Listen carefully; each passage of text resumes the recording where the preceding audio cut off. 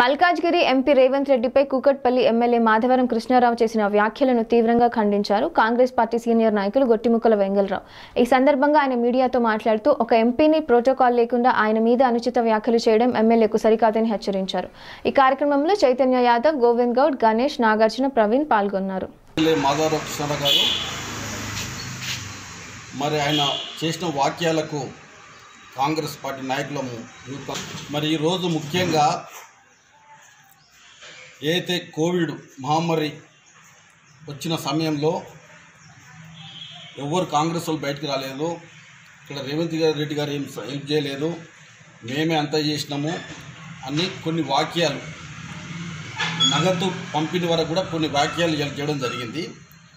అయితే కోవిడ్ మహమ్మారి వల్ల ఎంతమంది ప్రజానికం ఇదయ్యారో కుక్కట్పల్లి కాన్స్టిట్యున్సీలో ప్రతి డివిజన్లో కూడా ప్రతి కార్యకర్త ప్రతి ఒక్కరు కూడా సైన్యంగా మరి ఇంటింటికి ఎవరెవరైతే వెళ్ళిందో బియ్యం పంపిణీ కానీ నిత్యావసర వస్తువులే కానీ మా నాయకులు చేసిన చరిత్ర కుకట్పల్లిలో గణనీయంగా ఉన్నది.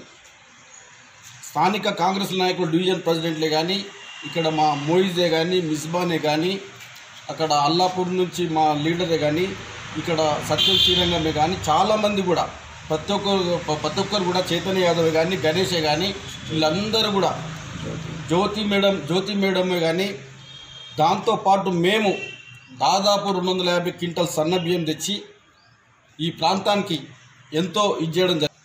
వర్షంలో ఎన్నో ఇళ్ళల నీళ్ళు వచ్చి తినుబండారాలే కానీ వస్తువులే కానీ వాళ్ళ సామాగ్రి కానీ ఎంతో కోట్లాది రూపాయలు నష్టం ఇవ్వడం జల పెద్ద ఎత్తున నష్టం జరిగింది.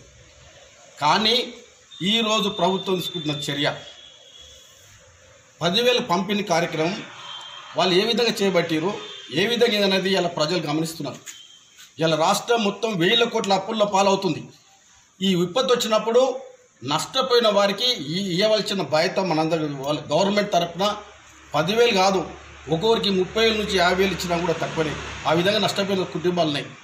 కానీ జిహెచ్ఎంసీ పరిధిలోనే టీఆర్ఎస్ వాళ్ళ కండువలు వేసుకొని ఆఫీసర్లను పక్క పెట్టేసి దాదాపు కుక్కట్పల్లి నుండి యాభై ఏడు యాభై ఏడు కోట్ల రూపాయలు పంపిణీ జరిగింది.